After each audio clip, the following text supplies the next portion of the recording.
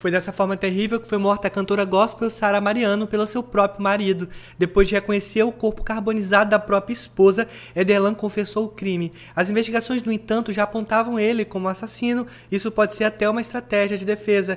De acordo com a nota da polícia, o marido da vítima teve a prisão decretada e cumprida após investigação apontá-lo como autor do delito. Em seguida, ele confessou. O corpo da pastora foi encontrado na Bahia BA 093, na região de Dias Dávila, 54 km quilômetros de Salvador. Infelizmente, pessoal, estava carbonizado. Ela praticamente estava do lado da pista. Uma transmissão ao vivo mostrou o marido reconhecendo o local e um chinelo que seria dela, além de uma aliança que estava no corpo também.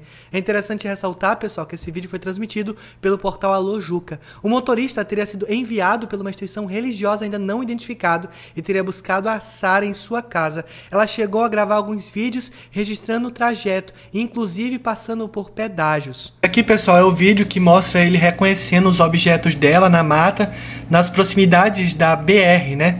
Para mim mostra quão caro pau e cruel um ser humano pode ser. Na verdade, porque ali o policial mostra, você tá vendo aquele sapato ali, né? Ele tá vendo ali, ele vê a sandália, não fala nada, e aí o repórter chama ele para confirmar sobre a sandália, né?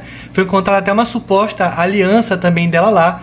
Então ele age de uma frieza, de uma forma que quem assistia, mesmo antes das investigações saírem, já começaram a suspeitar, na verdade, quem é que perde a esposa dessa forma tão brutal e age de uma forma né, tão fria como essa. Então a gente espera que a justiça seja feita. De acordo com o portal UOL, que foi a fonte desse vídeo, ele confessou já, né, e de acordo com o delegado ali, a investigação é de que ele está envolvido diretamente com esse assassinato.